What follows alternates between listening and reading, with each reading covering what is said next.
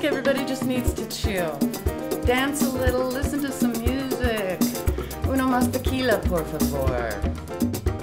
I say what I mean and I mean what I say. If you don't like it, go f yourself. I may look like the party girl. That doesn't mean I left my brain at the border. It's five o'clock somewhere.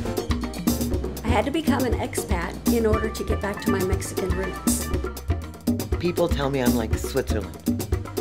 Really, I'm like Russia.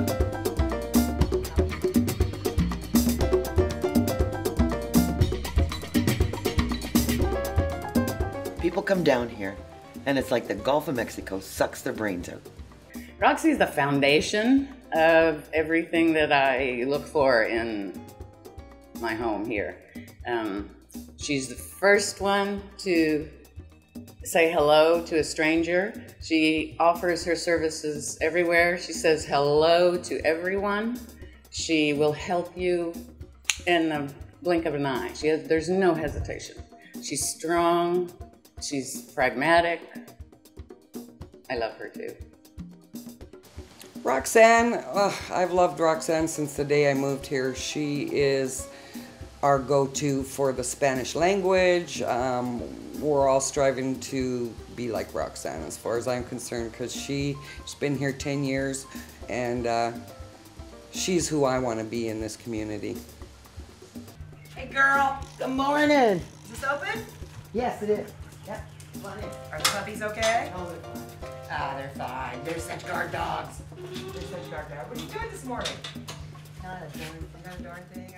Roxy. Roxy's my go to girl. She's been here longest.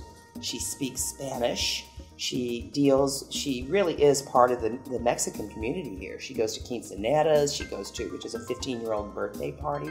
Very big deal in Mexico. And for her to be invited to that shows that her Mexican friends really, really have accepted her as part of their family. And she goes to all the fiestas. She even sleeps, well, she sleeps in till 11. We're, that's one of Roxy's rules. No texting till 11. Because a lot of times she's out till 3, 4 in the morning with her Mexican friends. I got here 11 years ago, and there was nothing. There was no internet. We used to have to go into Progreso to use the um, internet cafes, and you'd go, and it's like normal. You don't know when day they're going to be open, how long they're going to be open for. It was 10 pesos an hour, which was decent. You just give them your 10 pesos and away you go. When I first moved here and I didn't speak Spanish, it was really scary. And but the people were very amazing. I drew pictures. Um, I used a dictionary a lot, and it was it was fun because you're learning something new. And every day was a new day. It was a new challenge. Well, that really hasn't changed. It's still a new day and a new challenge. My daughter Tara and her friend Nicole have come to visit this week from Toronto. And they're here just to have fun, see what's going on. They've never been here for Semana Santa. So this is a first. We're gonna put them on the party bus. We're gonna feed them all the stuff that's in the main square and just let them just have a great time. We can't wait to party with our mom.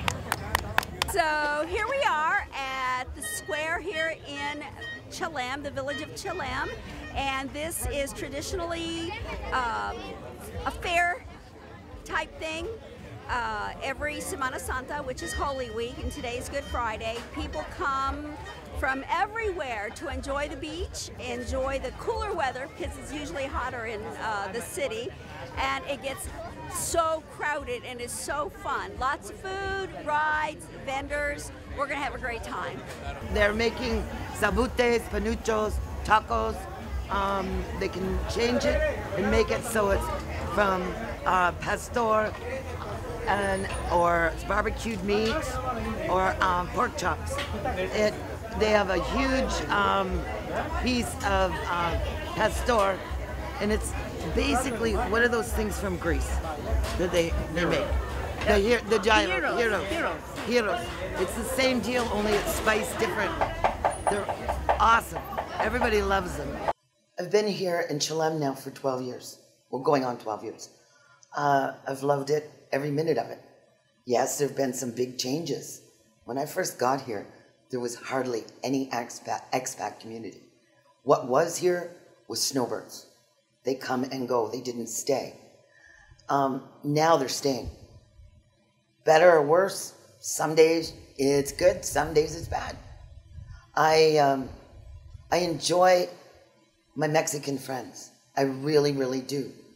Some people don't understand that. They want English spoken. You look at them like, go back to where you came from. It is not that it these people bend over backwards to help you. They do. If you're having problems, I first got down here, I drew pictures because I couldn't, I didn't know the words. And they helped me out immensely. So I do feel sometimes I think the expats are going looking at it the wrong way. You're in their country. Deal with it.